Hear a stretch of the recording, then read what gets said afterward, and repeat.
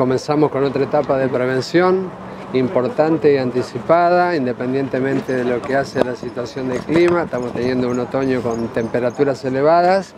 pero estamos viendo también que este tipo de virus ya no tiene tanta estacionalidad como antes. Así que la llegada de las dosis de la vacuna antigripal trivalente, como en este caso, creo que marca la prioridad, comenzando con los trabajadores de la salud para luego seguir con toda la población estratégica como se hace año a año. Otra cosa importante para remarcar es que bueno, hoy decidimos estar aquí en este centro, creo que uno de los centros que comenzó con una remodelación muy importante, con una inversión en lo que hace a todo su mantenimiento, nuevo amoblamiento, reparación y así en todo lo que hace el territorio, porque sin embargo estamos observando que post pandemia la atención primaria de la salud debe, primordial, debe ser algo primordial, debemos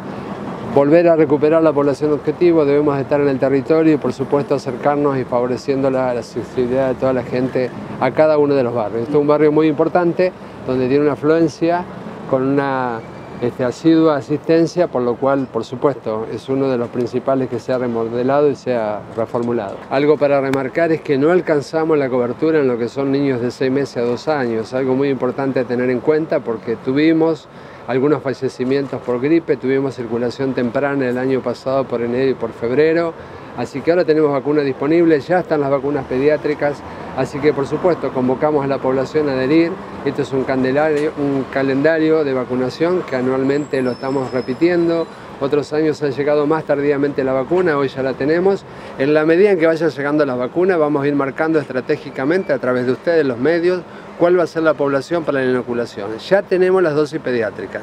Las dosis pediátricas están disponibles, así que todo niño de 6 meses a 2 años puede acercarse a los centros de salud a partir de la semana que viene para comenzar su calendario de vacunación.